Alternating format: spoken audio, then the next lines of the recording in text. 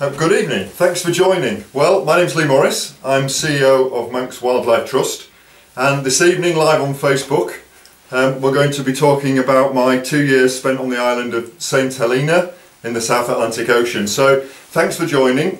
This should have been done probably in the church hall on the Isle of Man, where I am now, uh, but because of coronavirus and social distancing and stay at home, uh, we've decided not to scrap my talk, we'd do it instead, we'd, do it virtually and we'd do it online. So I've got the, the lovely task of probably for 45 minutes or so telling you about two years on St Helena.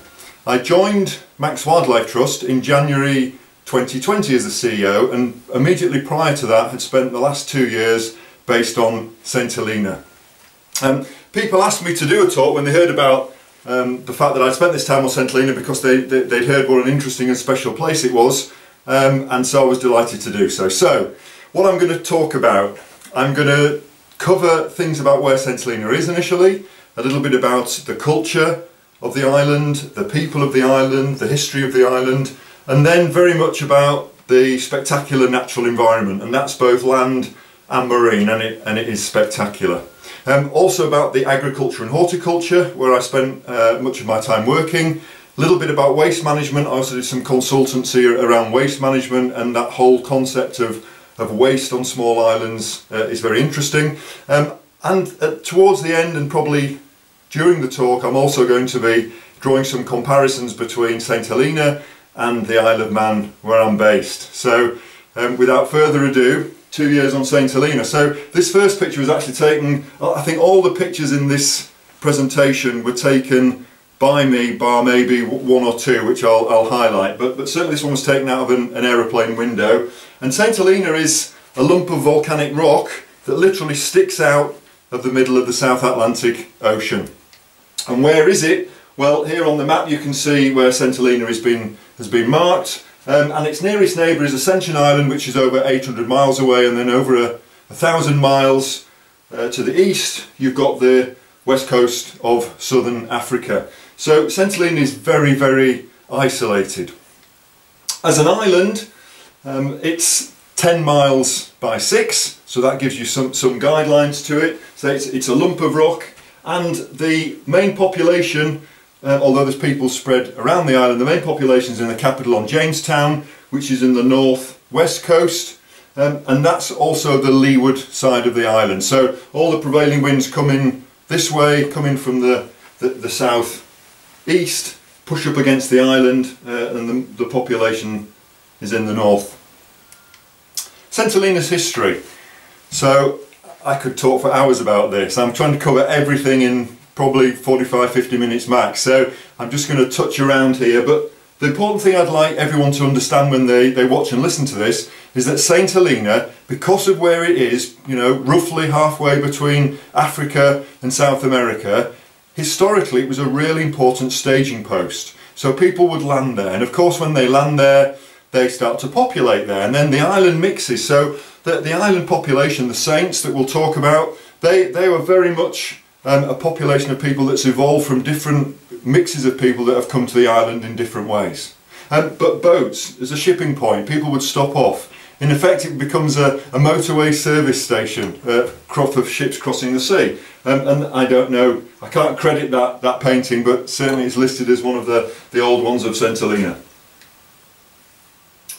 Napoleon. Many people will have heard about St Helena because of Napoleon, and that's the place where after the Battle of Waterloo, the, the British sent Napoleon to be exiled, and he actually spent his last days there and died there. Um, and when you go to Helena, which I hope many of you will, there's two, well there's, there's, there's many Napoleonic sites, but the two that are most commonly visited are uh, the top there on the picture, you can see the house in Longwood, Napoleon's house, which has tried to remain just as he left it, you know, so the, the bed that he died in is still there, the snooker table that he played on is still there, many of the furnishings, etc. And then the, the bottom picture there is actually Napoleon's tomb, Napoleon's grave. Now interestingly, he was buried on the island, but then a few years later the French returned, um, took away his body and took it back for a, a state burial in France. But the actual site of the original burial is there. So you can actually visit Napoleon's tomb and his burial site but his remains are no longer there. So Napoleon, people know St Helena, they think Napoleon.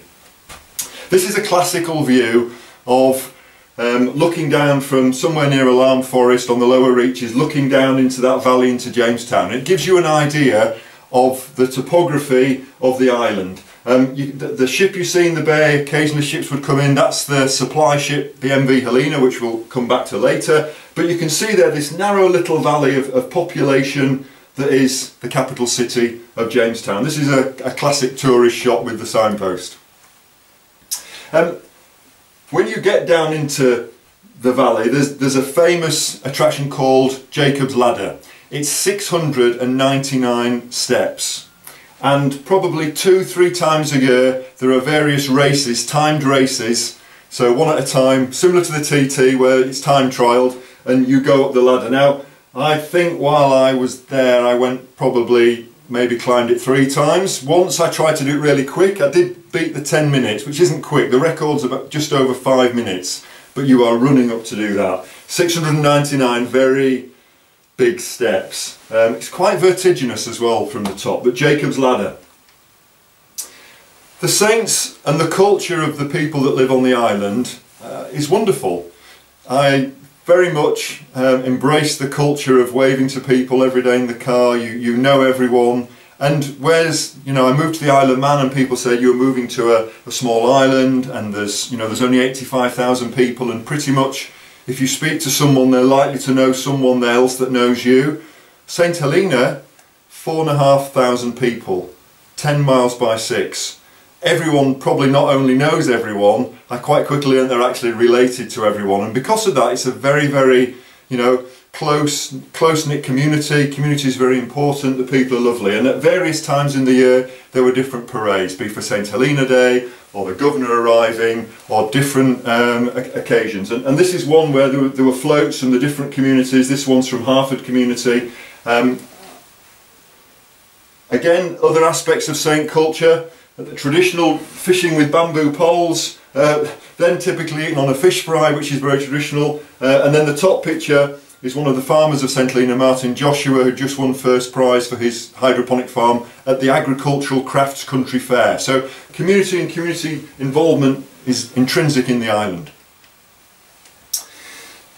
Similarity with the Isle of Man is that although St Helena is a UK overseas territory, and the Isle of Man is a Crown dependency, there are some comparisons, there are some similarities. Both, for example, have a governor. So this is one of the days where the, the, the governor, Sir Philip Rushbrook, had arrived, and he's, it's a small picture, but he's there in the middle of the picture uh, doing his welcome or his opening address after he just arrived on the island.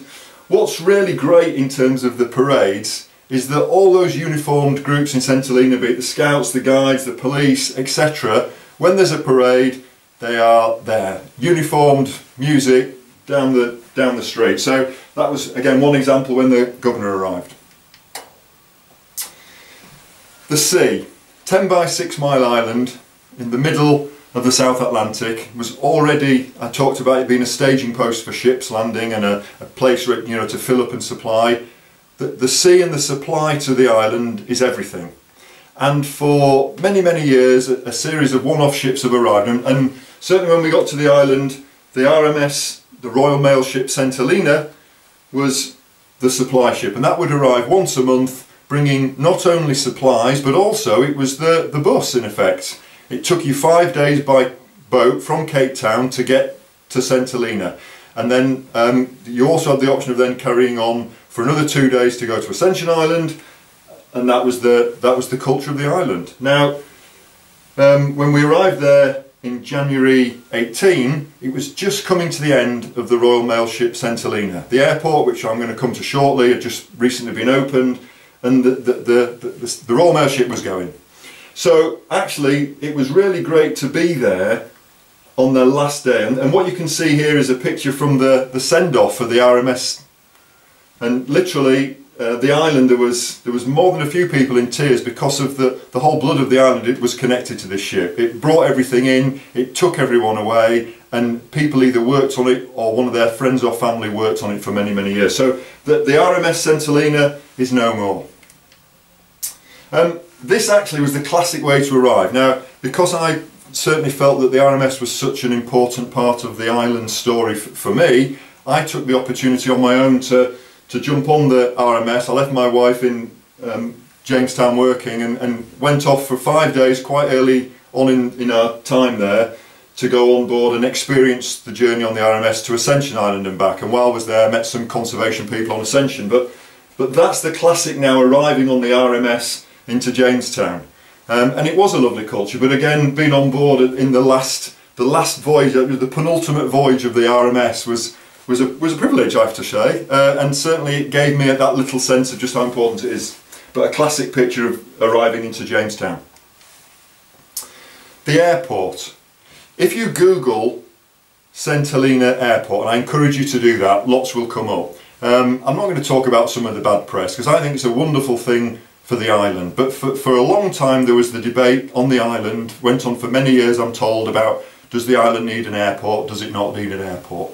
The decision was taken by the British government to help the island de de develop that an airport was key and so the, the airport was built um, and then for various reasons it didn't open for a year or so, maybe two years, but it opened in October 2017. So when, when, when I arrived on the island, uh, January 2018, it was, it was open. They were a few months into operation. Now just in terms of remoteness, if we put the, the current situation with COVID-19 to one side, because currently there's no flights from South Africa into St Helena, um, there is there is a scheduled one flight a week. In busy times of year, two flights a week. So everyone you see in the airport also happens to work uh, in the department store or in the bank, etc. And it will be really interesting as the island develops and hopefully gets more flights, how that, how that evolves. But this is a picture again I took out the aeroplane window and you can see how the airfield, the runway, is perched high up on the cliffs. It's about a thousand feet up.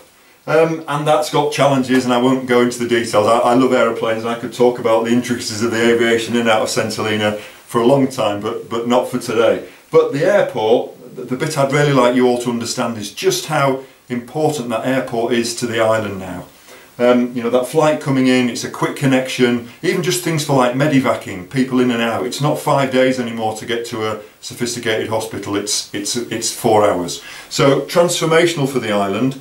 Um, and the ambition is that that will allow the island to develop certainly in terms of its tourism. You add a broadband cable in which is coming and suddenly people can, can work there. As we're all learning in this digital world, you know, you can do a lot through a, a bit of digital technology if you've got the right connection. So, St Airport. It is one of the, probably actually, last point on the airport, that because there has been some bad press about it. My take on it now is that they're so the, the, the, procedures and the safeguards are so stringent and strong that ironically I believe, and I know a bit about aeroplanes, is that it's probably one of the most safest airports to fly to in the world now. So please don't let, ever, let that ever put you off. It's spectacular, it's very, very safe and it's very well managed.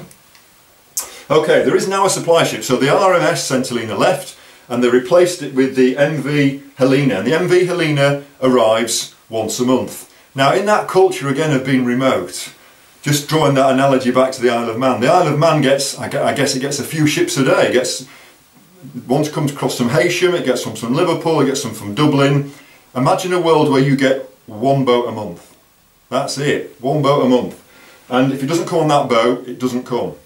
Um, little bits air freight, of course, but that is astronomically expensive. So the MV Helena brings things once a month. Um, and an example of that, uh, when I was actually interviewed for the post on the Isle of Man, I was asked about living on a remote island and explained about Helena and the analogy I use is that, you know, I'm used to a place where you can buy apples for three days a month, maybe four. The boat comes in, they unload the fresh fruit and veg, it goes into the shops, you can buy it, and once it's gone, halas, finished, gone, you've got tinned and maybe frozen for the, for the rest of the month. So um, you see a bit of broccoli, you buy it straight away it's it, it's a different scale of, of remoteness there. But actually, I mean, I certainly loved it. I, I, I was very comfortable.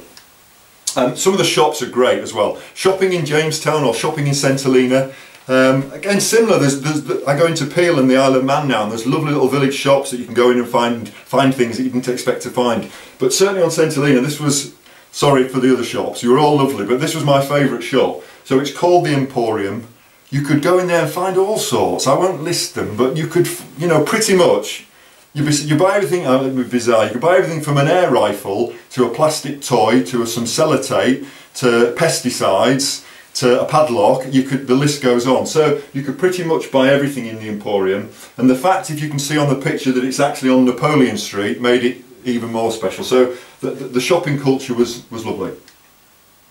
Um, one of me, I'm not going to put loads of holiday snaps in, but the reason I put this in is that this is me cutting off the, the lock from the shipping container. So when we decided to go to Helena for two years, um, we got the option of using a shipping container. So arrived there, it takes eight to ten weeks to get there, goes from the UK to South Africa, then onto the ship, but then it was the RMS and the RMS brought it to the island. So in there there's a Ford Fiesta, a load of boxes, some fishing tackle, some scuba diving kit, which I'll come back to later, um, everything board games, the lot, um, loads of tins of things that we thought we'd need. So a shipping container, and although I knew that the world revolves around shipping containers, to be in that microcosm of an island where you know things arrive in shipping containers. If, if I ordered something by Amazon, it would take six to eight weeks to get there, and it would come as a part of a bulk order in a, from the shipping from a from a from a shipping company in a shipping container, and then you'd decamp the shipping container, and you'd be all there finding the bits that were for you. So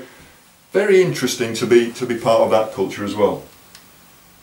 Um, in terms of exploring the wonder, we're going to come on now to a bit more about the spectacular natural environment of Helena, which is gobsmacking. So, how do you find your way around? Well, I've avoided putting another map up, but imagine if I put the map of Helena up again and there was walks dotted around the island, marked walks, they call them postbox walks. So you, you buy your little book, you go on a trail, typically they'd end up down in a little bay or on the top of a peak, and when you get there, there's a box with a stamp and you stamp your book and you log it. So if you like collecting things, as, as I do, postbox walks are great. Um, all of them have got some interpretation panels at the start. This one's at the, the, the board at Manati Bay. Um, and you follow your walks in. And, and, the little island you can see there is Speery Island. Again, another little beautiful piece. But, but postbox walks. And they have some spectacular views. Again, that's one of me just overlooking Speery Island, which is again gobsmacking. And the, the word postbox walk is interesting though. This is actually one of my wife at the, the end. I think this one is actually at Sharks Valley, one of the walks at Sharks Valley, where quite a few of the walks you wouldn't get away with it in the Lake District. People would close them probably. Um, I'm not saying they're unsafe or dangerous, but you'd certainly need good sturdy footwear and need to sit on your bum occasionally to get down them. But but but spectacular, and it allows you in a very organised way to explore some of the, the, the beautiful places on the island. Um, the history of the island is everywhere. So as you go around, I talked about Napoleon and his house and his, uh, his, his, his tomb, but there are signs, there's gun placements, there's battlements around the island, some spectacular places that actually you can just walk into. Because of the footfall, or the lack of footfall, these are not places with a tourist barrier or a pay point or a, or a guidebook because there just isn't enough people visiting the island yet that would justify that. But the history is everywhere. This is, this is actually on one of the islands, a little island called Egg Island, um, and this is Coburn's Battery. And Coburn's Battery was a place where it was, described as the most remote outpost in the British Army. So apparently one person, one soldier was put on this battery on this little island for a month with supplies for a month and that was him there, or yeah, him for, for the month. So Coburn's Battery. Another spectacular site. I've seen this in a few places, but, but the coloured earth, and this is completely natural, just how the soil of the rock has, has, has eroded to create this, this coloured earth pattern. Again, I'm putting a couple of tourist ones in now. So this is a, another place where the tourists, when, it, when, when the cruise ships arrives on the island and they get minibused around, a stop point now is a, is a, a little bay parking place where they can overlook this, which is the heart-shaped waterfall. And you can see clearly there in the image why it's called a heart-shaped waterfall. So what did I do while I was there? Well, I did have a, my wife says a mixed portfolio, but I did some wonderful things both for the St. Helena government uh, also for the St Helena National Trust and as a consultant uh, for the Blue Marine Foundation. So when I first arrived, one of the things I did was actually work alongside a, a new marine conservation team as a consultant, helping Beth Taylor, the, the, the, leader of that team, set up the, the new marine team to help with the conservation of the island's new marine protected area, which goes all the way around the island within its territory. And part of our work there was was to support and recruit local people into the team, get them trained, for example, teaching them how to do beach cleans. Uh, we found nurdles on the beaches, we were setting up education programs, etc. So, so very much been in at the start, supporting and helping that team evolve. Now in terms of the marine environment, just a little bit now about how special it is. Again, comparison with the Isle of Man, the Isle of Man is, yes, very renowned for its basking sharks. St Helena also has big sharks, and they're whale sharks. Um, and St Helena, and I met the, the scientists from Georgia Aquarium in the US who come across annually to do a lot of the data collection, and, and through conversations and watching their presentations and reading lots of have realised just how special St Helena is. So any of you that dive or know about the marine environment, you will know that there's many places in the world where you can see or hope to see a whale shark, the biggest fish in the, in the ocean. Now the thing that's special about St. Helena is that if you went to, for example, uh, Cancun in Mexico, you, you might find lots of whale sharks at certain times of the year, but I'm told that they are typically relatively small males, all males. If you go to Ningaloo Reef in Australia, I'm told that they're typically, again, they're single sex. If you go to the Galapagos Islands, you find huge big female singles. But on St. Helena, the real special thing is that you get big males, big females at the same time in the same place in huge numbers. This, this, this term mass aggregation. So here's one whale shark. Uh, uh, uh, this lump of rock is actually called the Barn, aptly named. So off Barn Cap was the, was the place where we would typically go and find whale sharks. And, and I could have put thousands of pictures of whale sharks in the, in the presentation. So um, I'm just going to put one underwater one and I'm going to show you one little bit of video clip to try and encapsulate just how awesome they are. So this actually was a picture I took that the St Helena Tourism Board use on the front of their whale shark leaflet, which I think is pretty cool. And it does show you the scale of one of the, the, the world's biggest fish. Um, there were actually people from uh, a, a, film company called Green Renaissance there that were that were free diving with me while we were doing some filming. But but there's a, a picture of a whale shark. Now I am going to show you a little bit of a video clip now. There's a whale shark. Isn't that beautiful? Now what's interesting is that I turned around and because I'd nearly been run over by two more whale sharks that were coming from the from the back side. This was just one day when I was out on a boat and we stopped the boat and we counted 25 to 30 whale sharks around the boat and I know from speaking to people in the St Helena National Trust that they've been on the boat with Georgia Aquarium. They've had like 50 plus whale sharks around them at the same time. But imagine these are 7, 8, 9, 10, 11 metre long animals. So the marine environment is not just about whale sharks. St Helena has a very special marine environment per se. So here's just four examples from a, that are endemics or certainly local endemics to St Helena and Ascension Island. The red slipper lobsters, um, the cup coral, the, the St Helena butterfly fish, oh and the, the Chilean devil ray is not an endemic, it's a, low, it's a visitor to the island. But three endemics there and another megafauna that visits the island. There's also cetaceans, whales and dolphins that visit St Helena and probably about a month or two that the, the whale shark season typically is January through till end of April um, sometimes into May, I saw a couple in the Mays, I was there, but pretty much January to mid-April is the peak. And then roughly from about July onwards, you start looking for humpback whales. And humpback whales, typically mothers and their calves, turn up around St. Helena. Uh, and this was a picture I actually took um, with, with, a camera connected to the binoculars while sat on the cliffs and quite regularly we could go around the island, sit down and watch humpback whales from Southwest Point or you go watch them from Barn Cap and you see them. So the humpback whale season comes. And there's lots of dolphins as well. So this is not a good picture but I need to tell you this story because it was wonderful. So and it's a, probably an example of just how spectacular St Helena's natural marine environment is. So one day, my first year, I'd only been there a few months, it was probably coming up to the, probably halfway through the first year, and someone casually said something about um, have, have the dolphins arrived yet for the flying fish season. It was a very off-the-cuff remark, and of course I asked the question and then discovered that probably for four to six, maybe even eight weeks a year, typically you've got the, the bottlenose dolphins, the, the big population around the island of pan-tropical spotted dolphins.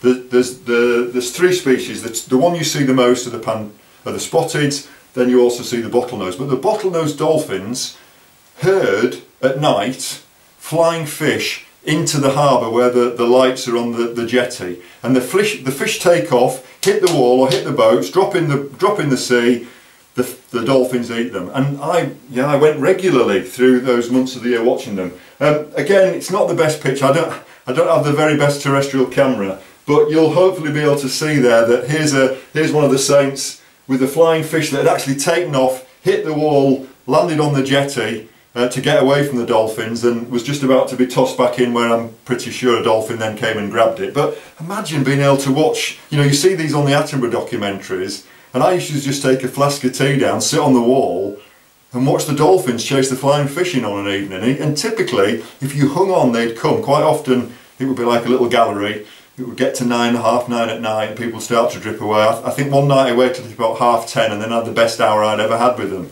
Um, spe spectacular. Um, I also, in my evenings, um, and it was predominantly night dives in, in, in evenings after doing work, it, it, was helping out with a project, a Darwin project. Um, I love to scuba dive, putting the two together, why wouldn't you? And there was a project there um, to actually get the baseline data around two of the main lobster species on the island, typically or, or predominantly these, which are the spiny crayfish. So this was organised um, by a lovely Yorkshire German, I call him, uh, Ralph Bublitz, um, who's, who's married a Yorkshire girl, lives in Yorkshire, but he's German. Um, but that's Ralph second left. Um, Craig, the guy stood up, is one of the two dive operators on the island, who, and we took it in turns to go out with them on the boats, and then me and Carl are on the right hand side. But we were going out typically two or three nights a week to do double night dives, and what were we doing while we were underwater? Well, we were first of all sexing them, so the top left picture there, that's a female, you can see the orange eggs. You've got the pleopods that, that surround the eggs and after a few you get to pick, you can pick one up even without eggs and quickly see from the size of the, the pleopods whether it's a male or a female.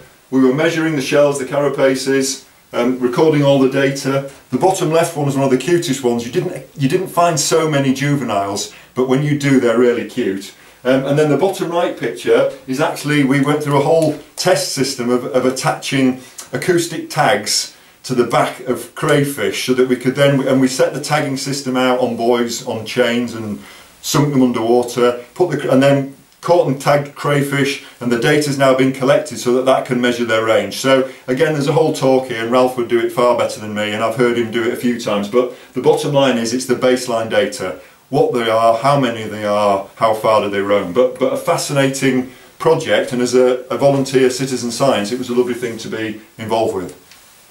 Um, also in, in, volunteering and diving, just because I love to dive, we, we organised Dive Litter Picks um, and certainly one of the things I was keen to do that we did was we linked into the, the bigger data sets and, and I think that's important in any small island. If you've got data about be it marine litter or citizen science or, or counts etc to plug that into the larger data sets and we, and we did that through Dive Against Debris and, and, also through the International Coastal Cleanup where there's now a line on Helena.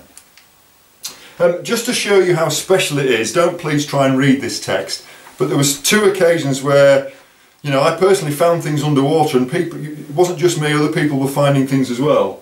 So I didn't actually find a new species of fish, but I think it was the only second recording of this cusk eel. It's a cusk eel. And actually when you start to look for it, myself and Anthony, one of the other dive operators, we saw them quite a few times on night dive. So cusk eels, but there was still things that you could find. Um, talking about things that you can find, talking about the history, there's some wrecks, quite a few interesting historic wrecks around St Helena. Um, and in terms of anything around a wreck, you, you never touch it because it's part of the historic collection.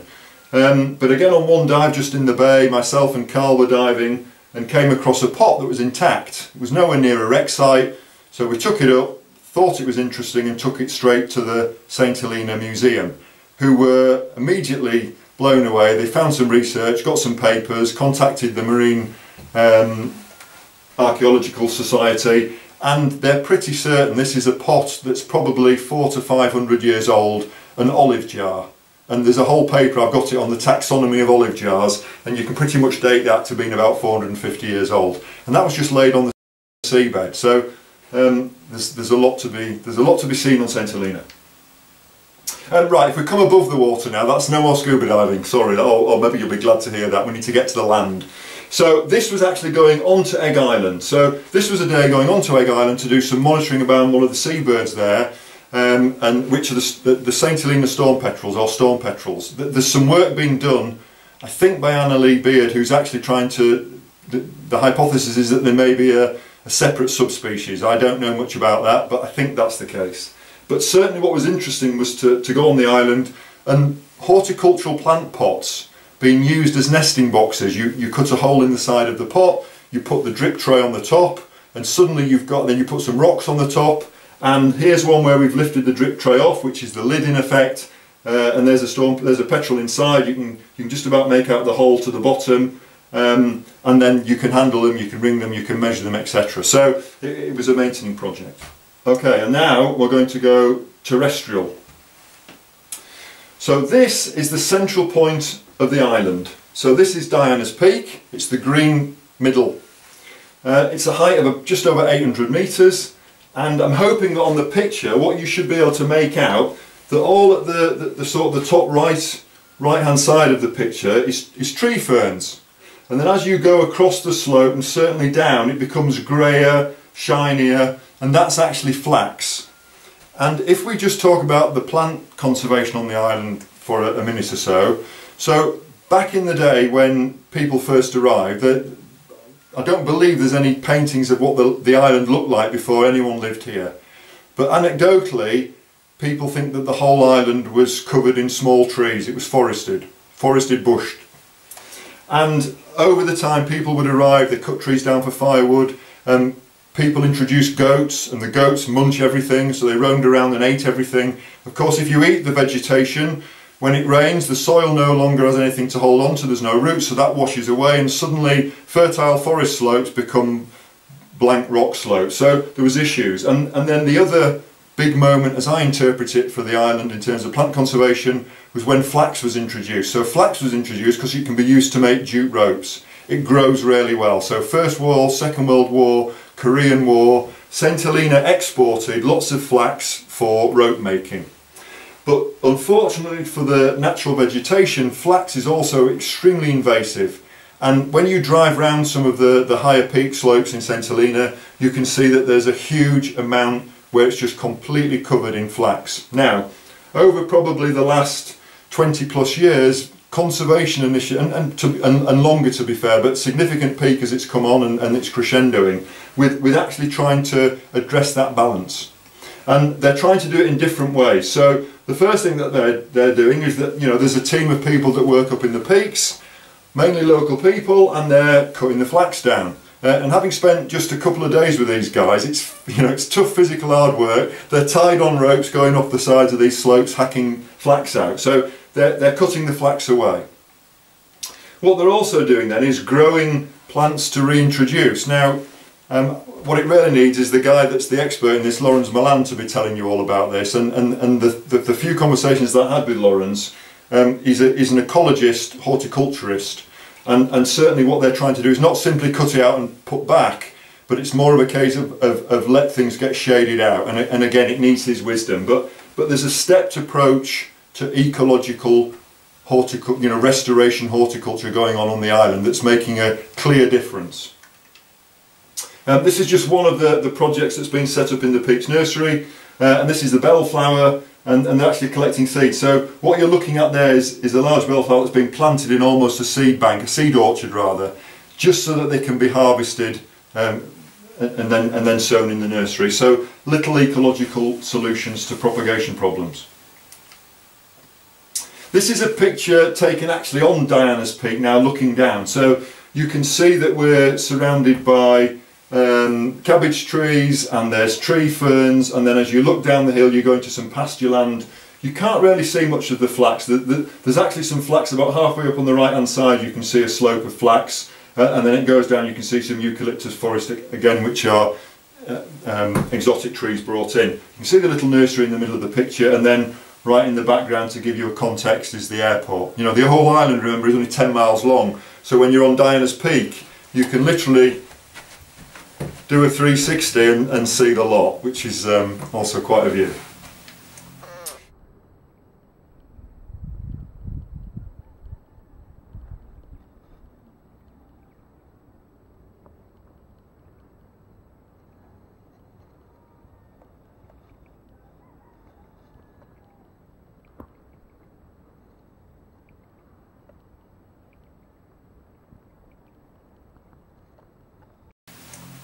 It's not all up in the peaks. So plant and terrestrial conservation all goes, also goes down onto the plains. Again, you've got the, the runway in the background to give you some context. One of the key projects on the, on the lower areas of Helena is the Millennium Forest. Um, and here what you're looking at is, is a plantation of gumwoods, uh, not just gumwoods, but many, many gumwoods and other native species have been planted around since the millennium to, to, to reforest a, a huge area of the lowland. No talk on Helena or a talk about the Millennium Forest would be complete without putting a picture of a wirebird in. Um, this is not my picture. I've, I've, left the guy's name on the bottom of the slide that I took it from off Google, Google Images. I did see, or we did see lots of wirebirds, but my, I don't have a camera lens that's that long, and although I've seen lots of them and got a few through binoculars, not anywhere near as good as that. But this is Helena's only endemic land bird. Uh, it's a little plover, St Helena plover is its other name. It's on the flag, so when you look at the flag, the little uh, above the ship on the the badge on the side, the little bird there on the yellow background is the wirebird. So St Helena wirebird, and and I've met people who are you know bird enthusiasts or uh, even one that was a self-professed twitcher that immediately I mentioned St Helena was I need to go there to see the St Helena plover. So it's clearly got some some importance in the birding world. Um, I also should talk about scorpions. Certainly where we lived, quite regularly we'd find scorpions in the same way I'd find a spider in Peel. Um, I did actually get stung by one once um, and then immediately thought, is that, how, is that going to be a hospital trip? Thankfully it wasn't. I can speak from own experience, it wasn't as bad as a bee sting or a wasp sting, but um, you know, I still, uh, I still got the job occasionally of catching them and carefully releasing them outside. So scorpions. Um, a lot of my work on Helena was around the development of agriculture.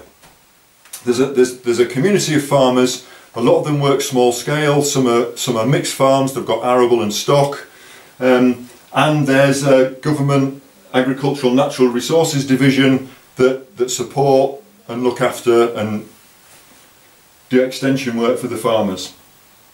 I was asked um, on arrival on Helena if I would helped deliver some work for the farmers development and that was very much around agricultural skills. So the first thing that I did was spend about a month, month and a half speaking to lots of people, visiting the farms, getting an understanding of it um, and these are just some of the farmers that I met.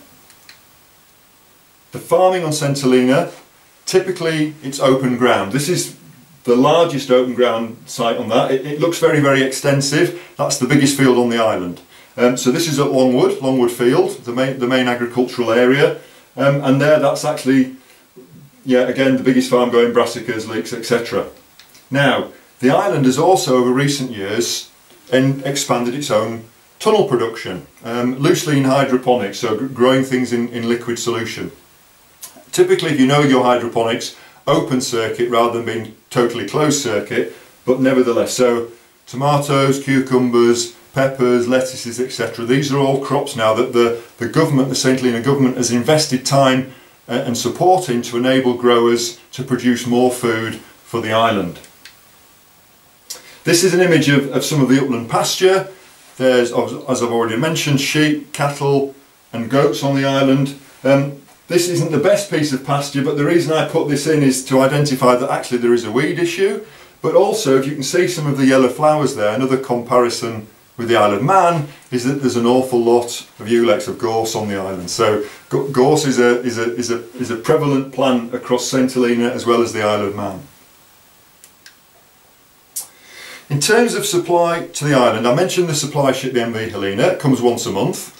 I mentioned the fact that you could go in a shop and buy broccoli, you bought it quick because there wasn't much there. And there is a challenge for the island in terms of growing more fresh produce. So this is how this MV Helena is unloaded. These are actually palletfuls of uh, potatoes and onions being unloaded. Um, and the island's also getting more and more supplies of other fresh produce in as well. But yet, even with the supply chain coming in and the farmers on the island, the demand uh, is still exceeding the supply currently. Um, here we've got in biosecurity. So I've talked about goats and I've talked about flax um, and I could have talked about a lot of other problems, living problems, be it weeds or pests, animal pests that came onto the island that have impinged on agriculture. And so now the St Helena government has got a very, very stringent biosecurity policy and team and procedures. Um, and this was some of the, the, the, apples that had been arrived on the MV Helena. I spent a, a morning with these guys as they went through and checked them, etc., etc. So the biosecurity levels are extremely high now because of the, the, the learning that the island's gone through previously. In terms of exporting agricultural, the, there's no more flax exported uh, currently. There's some people would like to maybe create some artisan um, products that could go off the island, but, but currently the agricultural product that goes off island is coffee. Um, and if you again go to Google, go to Fortnum and Masons or go to Harrods and price up St Helena coffee, uh, it's it's very much the finest Yemeni Arabica coffee. So it's got a very high market value and you don't need that much of it. You know it, it, it's a good high value crop. And again there's a few small plantations coffee plantations on the island and there's there's a, there's some enthusiasm as there have been for years I think to, to try and expand that production and market. But St Helena coffee. It's very nice. Um, after doing the agricultural skills survey I also then spent some time working with agricultural government and also the education department developing some upskilling initiatives and, and that ranged from developing I say I say this with a smile on my face every single school on Saint, high school on St now runs a agriculture conservation and animal care course in the high school there's only one high school and they're only testing it but however the ambition is that, that the cohort of, of, of currently all boys doing this will expand and the concept of bringing more conservation and animal care into the curriculum, the, the aim, like it is in the UK, will, will attract more people to learn.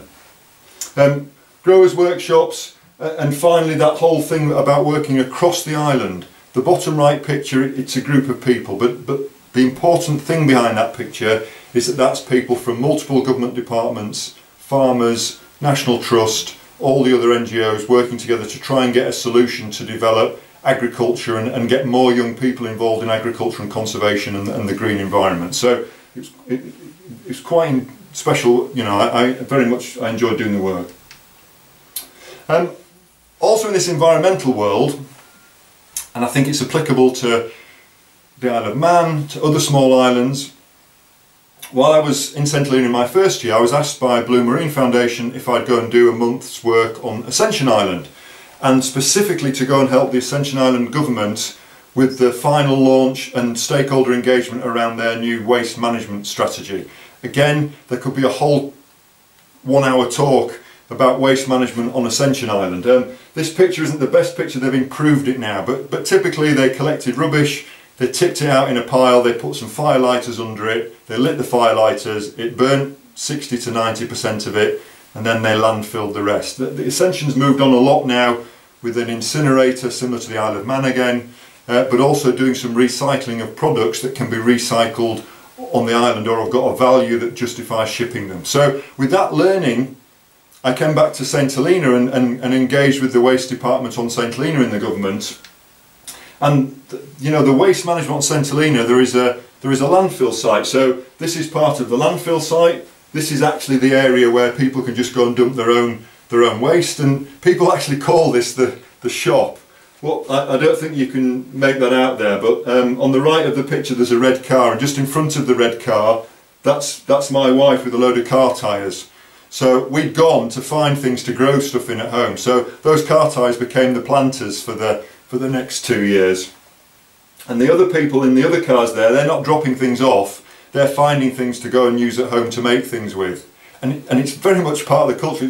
It's called the supermarket. People rock up and take things away. So that bit is just natural recycling. People just go and take stuff away.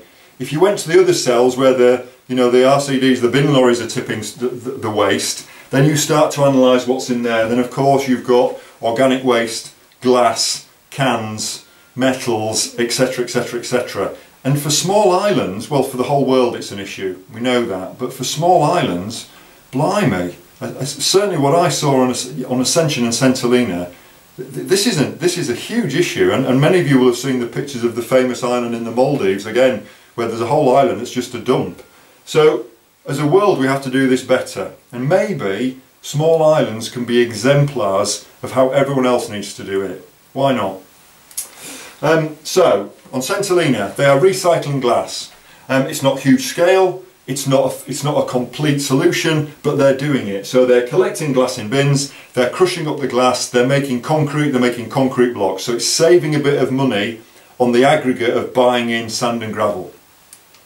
The other thing that they're doing now on Helena, which I was, um, you know, a, a part of, of, of, at least facilitating and, and, and, motivating to set up was, you know, I had conversations with the, the, the buyers of aluminium cans in, in South Africa.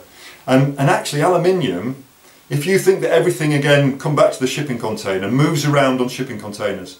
If you want to send a shipping container from St Helena to South Africa or from St Helena to the UK, it's four figure sums. You know, it, it's thousands of pounds to get a shipping container.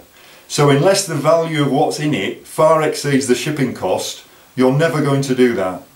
But aluminium cans, they are worth on the open market, if they're crushed and baled and clean, they're worth between 550 to the best price I saw while I was looking at it was £950 per tonne. So you can imagine if you can do that and you can crush them and you can fill up shipping containers, you may not make a fortune, but you're more than covering your costs. And also the aluminium's getting reused again, which is reducing the amount that actually gets made. So I'm going into too much detail now. So I'll step back from aluminium cans, but, but my, my learning from that was around that whole concept of, of waste management, and particularly in small islands. And that whole thing about living sustainably on small islands is important as well. So St Helena has a wind farm, uh, it's looking to develop more, but, but the big step forward in St Helena in alternative energy is in solar panels. Um, a, friend of mine, Carl, he imports solar panels, the price of them is dropping, the technology increasing, the calculations of doing it, and, and certainly in the last few months we were on the island, many of the businesses in Jamestown are switching from, from mains, as in diesel generated electricity, to solar powered energy. So the island is really taking great steps forward in that way.